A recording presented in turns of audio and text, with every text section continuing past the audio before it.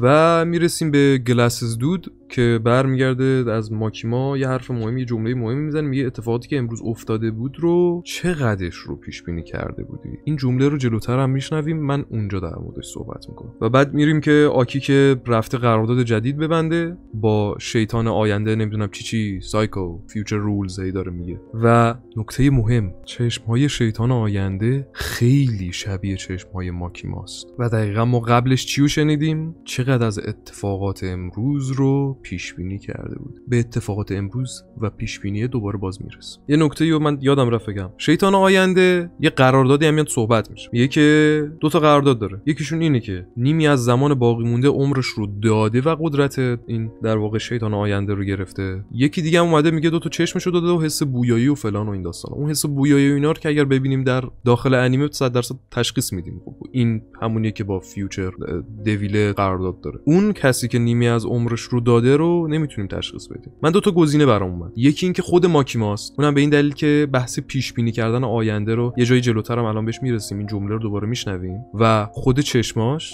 یکی دیگه هم که شک دارم بهش کوبنیه. کوبنی که به ما نگفتن قراردادش با چه devil یه. فقط گفتن یه قراردادیه که secret خلاصه. و ما کوبنی رو می‌بینیم که اونجا مثل مرد عنکبوتی میپره این ورون ور همه رو می‌زنه و این داستانا. و دقیقا منو مثلا اون fight ه برام شبیه fight آکی بود. از اونجایی که future devil داخل چشم آکی که رفت که مثلا گفت من زندگی می‌کنم و این داستانا یه مقداری جلوتر رو بهش نشون میده. سر همون قضیه دست ها رو می‌بینه می‌دونه از کدوم سمت میان. جا خالی دادن تیر هم سر همین داستانه. سر اینکه آینده رو می‌تونه ببینه جا خالی میده تیر رو. کوبنی هم دقیقا تیر رو جا خالی میده. و کوبنی واسه همین خیلی واسه بیشتر مشکوک بود تا خود ماکیما. و فکرم می‌کنم اگر که می‌خواستم مثلا بگن که تو آینده رو می‌گفتم. آینده رو دیده بودی یا یه همچین چیزایی می‌گفتن؟ اینکه بگم پیش بینی می‌کنی احساس می‌کنم یه قضیه دیگه ای داره. خلاصه می‌رسیم به بخشی که با آقا مدزه داره صحبت می‌کنه. من اسم این بنده خدا رو یادم نمیاد ولم کنید. که برمیگرد آقا مدزه میگه که حمله که با واحد ویژه شد امنیت عمومی احمق نیست. تو می‌دونستی که قرار اتفاق بیفته و سعی نکردی جلوش رو بگیری درسته؟ نگاه کنید دوباره اون قضیه پیش بینی اینجا داره تکرار میشه. و این دفعه داره به شکل اینکه مطمئنه که پیش بینی کرده بود گفته میشه مدز بعد ماکیما هم اینجوریه که یه لبخند می‌زنه میگه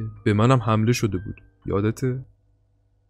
و مدزم در جواب میگه که برام مهم نیستش که هدفت چیه یا میشه اینجوری ترجمه کرد که داری چه چیزی رو آماده می‌کنی یا مثلا داری برای چه چیزی آماده میشی و فلان داستانا یا چند تا از سگهای شکاریمو کشتی. تا وقتی که به انسانها خدمت کنی یا حالا مثلا سمتشون باشی می‌تونم از کارهات چشم پوشی کنم. فقط در این صورت. که در جوابم ماکیما برمیگرده میگه تمام چیزایی که می‌خوام اینه که تا جایی که امکانش هست آدمها رو از شر شیطانا نجات بدم. اگر این عملیات موفقیت آمیز باشه واحد به طور رسمی بخشی از امنیت عمومی شناخته میشه که آزادی بیشتری بهمون میده و ما می‌تونیم جون انسانهای بیشتری از شر شیطان ها نجات بدیم. و بعد آقا مدزه اینجوریه که اوزوسکی؟ نمی‌دونم. ژاپنیشو یادم نمیاد. میگه که یولا میگه دروغگوی و ما که من یه لبخند می‌زنه که میگه آفرین خوب موچمو گرفتی. حالا منظور مدزه چیه؟ از این نظر که اون بخش منکایندش که داره میگه تا زمانی که سمت حالا مثلا به انسان ها خدمت کنی خیلی باز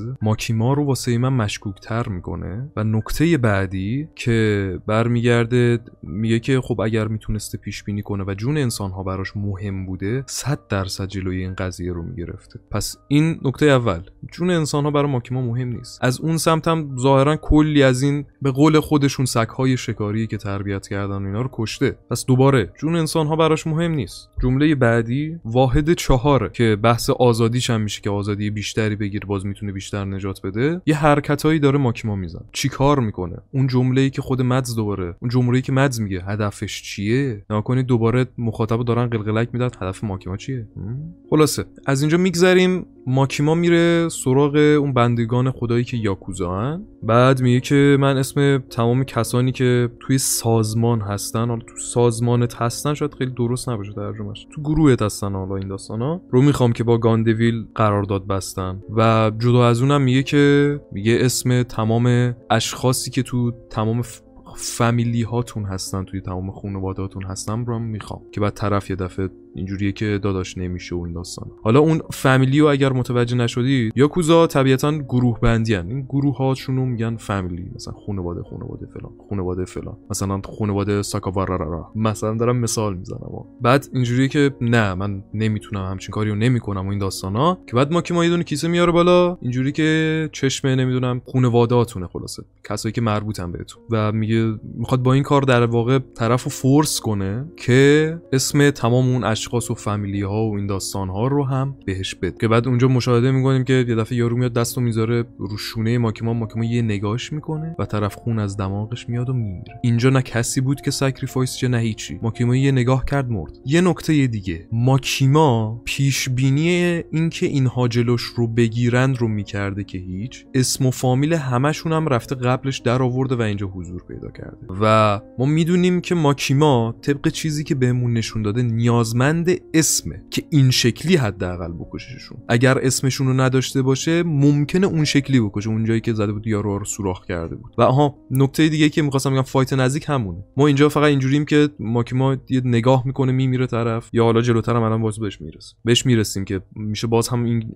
استایلی که از راه دور داره افراد رو می‌کشه. بعد نهایتا می‌رسیم به اون قسمت که داره اون آقا مدزه در مورد این فینت ها توضیح میده و نمی‌دونم دویل اسپایدر از اون وسط داره توضیح میده. یه نکته داره من این فقط میگم بدونید در مورد فین فین شدن معمولا از وقتی که شیطان بودن ضعیفترشون می‌کنه. این فقط نکته بودش که خواستم بگم و بدونید. بعد نهایتا می‌رسیم به اونجا که آکیب درگیر با اون اون چهار تا آقا که که دقیقا به همون استایلی که اون بنده خدا رو نگاه کرده از بینیشون خون میاد و نهایتا میفتن پایین میمیره. یه نکته ای داره. چرا اینجا اونجوری دست مست نزد به همون اونجوری پرسشون نکردش؟ اون مال تایمی بود که داشت یک نفر رو از طریق اون ارتباط برقرار می‌کرد با اون مثلا طرفی که یک شهر دیگه و راه خیلی دوره. اینجا ماکیما و این افراد و اینا همه توی شهر. واسه همین فکر می‌کنم فکر می‌کنم اینا همه بچه ایده است. اینا فکت نمیشه بهش گفت. زنه می‌کشه. بعد نهایتا هم میاد نشون میدی که از اونجا اومده بیرون. یعنی اون بند اون آدمایی که اونجا میمیرن و اینا که دقیقا همزمان هم بود با اون روبرو شدن با آکی نشون میدی که اسمشون رو گرفته به زور ازشون و احتمالا از اونجا هم خارج شده. اونها هم کشته دیگه اون یاکوزا هم زده کشته. و نکته اینجاست که من بعید باز هم اینجا میگم. باز بعید می‌دونم که کاملا اتفاقی بوده باشه. اینکه جلوی آکی قرار گرفتن و بعد این شکلی مثلا دقیقا همزمان مثلا ماکیما تونسته اسم ها رو بگیره و زده مثلا کشته اینها رو. بعید می‌دونم همچین چیزی بوده باشه؟ این هم جزو اون بخشهایی از ماکیماست که می‌تونه پیش بینی بکنه. بعد نهایتا هویت ماکیما. ماکیما تا این به اینجای کار یا فینده یا حداقل برای بنده نات هیومن نات دویله مثل دنجی. و نکته اینجاست که من حالا باز هم شک دارم همچنان. دویل که بعید می‌دونم بتونه باشه. از اونجایی که ما دویل شبیه انسان که اصلا نداشتیم. یعنی شبیه ترین دویل به انسان همون خانم انکبوت است دیگه غیر از اون devil ی نداریم بیشتر از این شبیه انسان باشه و میمونن fiend ها fiend ها هم همه داره می‌بینیم که مشخصه خاصی دارن و ماکیما صرفا اینجوریه که چشمه رو داره. چشمه رو داره که شدیدا هم شبیه پاور. و آخرین مطلب اینه که هدف ماکیما چیه؟ در مورد هدف ماکیما انقدر clue ه خاصی وجود نداره ولی یه نکته ای هست. fiend ها و devil هایی که برای public safety کار می‌کنن تا آخر عمرشون باید براشون کار کنن. بخوام فرار کنن بخوان استعفا بدن یا موارد این چنینی کشته میشن توسط hunter ها. ماکیما هم اگر fiend باشه یا نمی‌دونم not human not devil باشه دقیقا همین شرایط رو داره. یعنی اگر بخواد فرار بکنه میمیره. و چیزی که من حس می‌کنم ماکیما هم دنبال آزادی یا چنین چیزی می‌تونه باشه. و اینکه به صورت طبیعی نکته هم هست. دویل ها که پاور میگه از انسان ها بدشون میاد. ماکیما ذاتا از انسان ها بدش میاد. و از اون طرف هم که اوپنینگی که هی داره نشون میده که مثلا ماکیما اومده و تحت کنترل داره سعی می‌کنه بگیره دنجیو و داره گولش می‌زنه. انگل داره به خوردش میده و غذای این چنینی. چیزی که 100 درصد شما تو خود انیمه هم مقدار حس می‌کنید. هر جا که یه هدفی داره ماکیما می‌خواد برسه اول یه ذره میاد با دنجی ور و وور میره. بعد که اینجوری که گول که خورد اینجوری که خب حالا هدف اون بهت میاد و مشخصا یه هدف خاصی داره. اصلا هم هدف ترتمیزی بهش نمی‌خوره. خیلی شومه. و یه نمی‌دونم. احساس می‌کنم به یک نحوی می‌خواد Public Safety رو از بین ببره و حال حاضر هرچی که از قدرتشو نداره. دوباره به اون جمله مدز برمیگردیم. میگه نمی‌دونم چه هدفی داری و داری برای چه چیزی آماده میشی. چه چیزی رو داری آماده می‌کنی. و از اونجایی که میگم ماکیما از نظر من هنوز قدرت این رو نداره که مقابل Public Safety وایسه. نمونهش همین خود مدزی که ما روبروشیم که میگه قوی ترین hunter ه. و اشاره هم دقیقا جالبی مدز اینجاست که اشاره هم به قدرتش به اینکه قرارداد داره نمیشه. این شکلی هم که مدز میاد میگه که آره من بچه بودم اسباب بازیامو میشکوندم. و همیشه دلم یه اسباب بازی می‌خواست که نشکنه. و میگه آره من به صورت طبیعی همینجور قوی هستم. حالا فکر کن یه همچین آدمی مثلا قراردادم داشته باشه. در کل این بود از ویدیوی ماکیما و اندیشه ها و ایده های من. نمی‌دونم چیزی رو جا انداختم یا نه چیزی می‌خواستم بگم جا مود یا نه. چون یه سری ها رو مثلا به عنوان مثلا یه دونه مثلا موضوعی که قرار بود صحبت کنم مثلا نوشتم. مونتا به عنوان مثلا موضوعی که می‌خواستم صحبت کنم نوشتم یه نگاش می‌کردم بعد توضیح می‌دادم. و نمی‌دونم امیدوارم که چیزی از دستم در نرفته باشه از این ور اونورم یه سری چیزا افتاد. قشنگ می‌دونم یه سری جملات رو نوشته بودم جدا اونها افتادن پایین دیگه. اونها حذف شدن این وسط. که حالا این آخری هم یه نگاه کردم.